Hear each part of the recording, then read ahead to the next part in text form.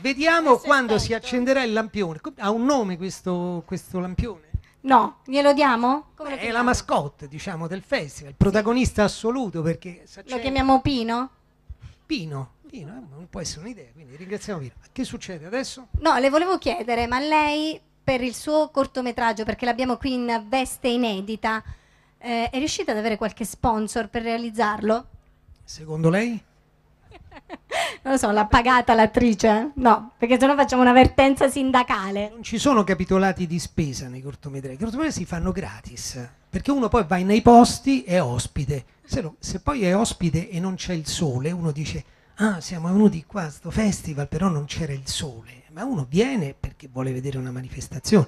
Quindi, ripeto, il cortometraggio è bello perché nessuno viene pagato. Io non conosco uno che abbia preso una lira per fare il cortometraggio.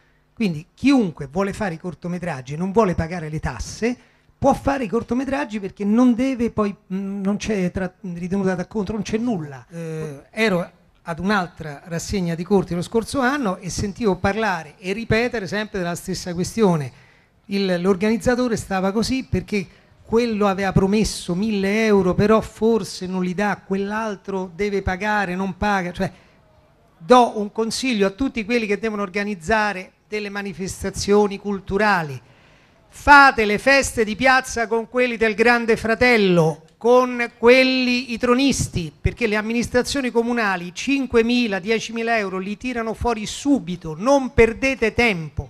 Quindi una bella sagra del nulla, so, la sagra del pesce fresco, Poi ce ne sono parecchie. Sagra il pesce fresco si fa facilmente perché sono 6-7 kg di pesce massimo. Cioè, ne- quando c'è la sagra del pesce fritto, secondo voi che vi possono dare da mangiare? Allora, la sagra del pesce fresco sono 6 kg di, di pesce, finisce subito dopo 5 minuti e fate venire uno ignorante che è contento di essere ignorante perché oggi l'ignoranza è una forma, è una fonte di reddito.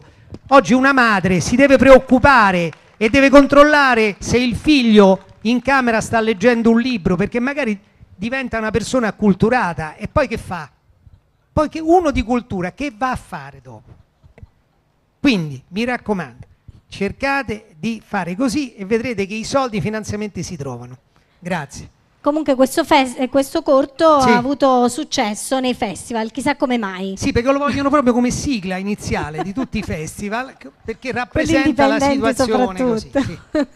Ma continuerà a perché- fare il regista di cortometraggi? Sì, sì, sì, sì. Perché le permette di continuare a sperimentare quello che ha fatto in tv, No, quello già che me ne è fatto... venuto in mente uno su, su qui su Villa Mare, proprio come Eh. sono arrivato, su una certa situazione. Temo quello che Eh? sta per dire. Temo quello no, che sta no, per no, dire. Ah, no, Villa Mare è bello perché tutti dicono era bello quel, quel tuo corto con quel rumore del mare dietro. Dicono no, guardate che è proprio la colonna sonora di tutti Natura. i cortometraggi Villa Mare è lì perché l'acqua sta lì.